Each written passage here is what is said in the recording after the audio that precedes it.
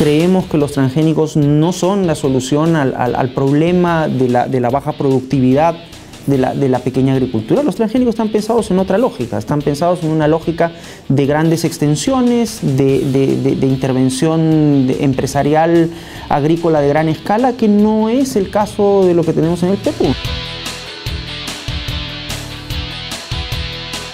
El país siendo centro de origen y centro de domesticación de muchos cultivos, este, es un, es, un, es un, país altamente vulnerable a, la contaminación por transgénicos, cosa que no ocurre en otros países donde, donde no tienes tantos parientes silvestres o no tienes tanta cultura de domesticación, donde, bueno, suelta los transgénicos y en realidad la posibilidad de contaminación no es tan, no es tan grande.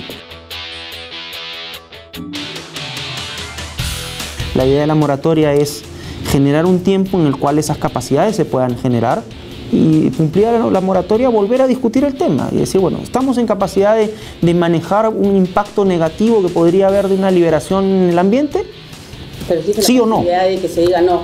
O, que simplemente habría la posibilidad que, se diga no ingresen a nuestro país. Bueno, eso será parte de un debate que, habrá, que habrá que dar en, su momento. En ese momento no, no, se puede hacer, es ilegal, ¿no? a partir de la, de la ley y de la reglamentación que, que hemos generado.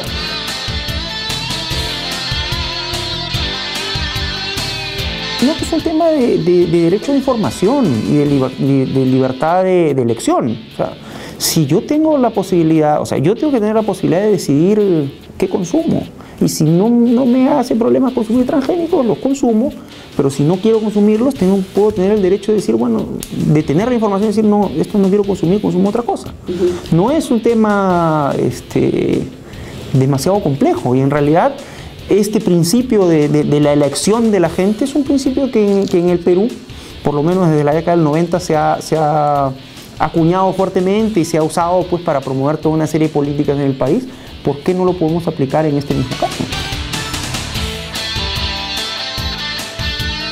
Hay un capítulo del Código de Consumo que, precisa este tema, la necesidad de etiquetar.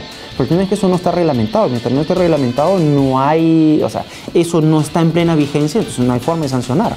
Eh, en el caso de la moratoria, ya hemos, ya hemos este, avanzado, tenemos la ley, tenemos el reglamento, lo que queda ahora, por ejemplo, es todo un proceso de, de implementación de esta moratoria, lo mismo va a haber que hacer sobre el tema de etiquetado.